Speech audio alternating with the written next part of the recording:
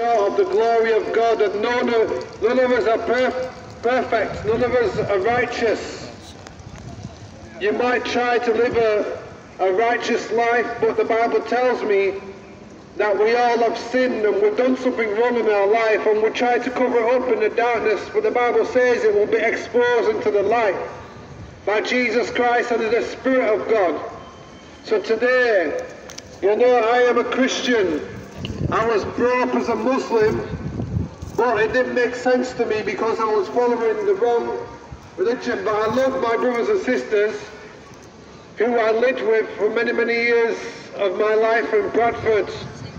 I was brought up a Muslim. My dad's from Pakistan, uh, but my mum was a Christian. My name is Mohammed Afzal, but God stepped in my life and changed my name to Benjamin and uh, spoke to me in my depravity, in my emptiness. You know, I came to Lord Jesus Christ in my suicide state, wanting to end my life because I didn't have no purpose in my life. I didn't have no hope in my life. I was empty on the inside. I needed someone who could love me because I, my dad didn't love me, my mum didn't love me, I was rejected out of my own family, and I had these scars deep down inside my heart that no one could heal or no one could fix. And I tried it all. I tried the sex, I tried the drugs, I tried everything. I tried selling drugs, I, I joined gangs, fighting on the weekends. It got me nowhere. My life was going down in a spiral, and no one could help me at all. I, you know, I, I was messed up in my own mess. But I tell you, there is a mighty God in heaven who cares not just for me, but also for you. And Jesus Christ came to the heaven, from heaven onto the earth, preaching about his Father. And he even said, when he was young, when he fled from his mother and father to the Jewish temple, talking to the rabbis that day. And when his mother and father found him, he said, why did you disappear, son? He goes, I am about my father's business. This is what Jesus Christ said. And today, we are doing the same thing. We are here to say to you today that God loves you. He wants a personal relationship. It's not religion.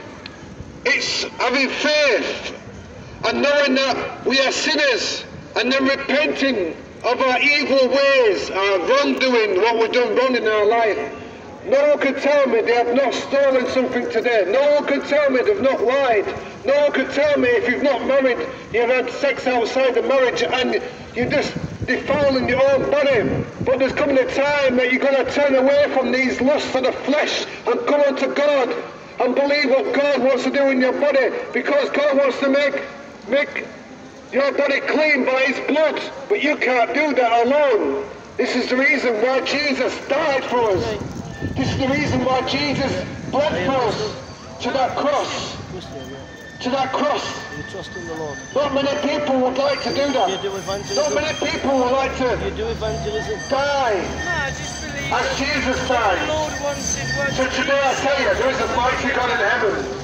I just read the Bible, be a And Jesus Christ in my life. came in the flesh, Being a disciple. you have to proclaiming, witness. You know that proclaiming the word of God. You be a light in the world, yeah? Jesus proclaimed that you could be free. But also with with Jesus with your healed the mouth as leper. Jesus healed the blind. Jesus healed the mute. Jesus cleansed my atheist people friend who about. were dirty. And that's most I can do with. And that's what he wants to do with our life today. So what you studying? It's not about religion, it's about relationship It's nice to with. Jesus Christ. God bless. Amen.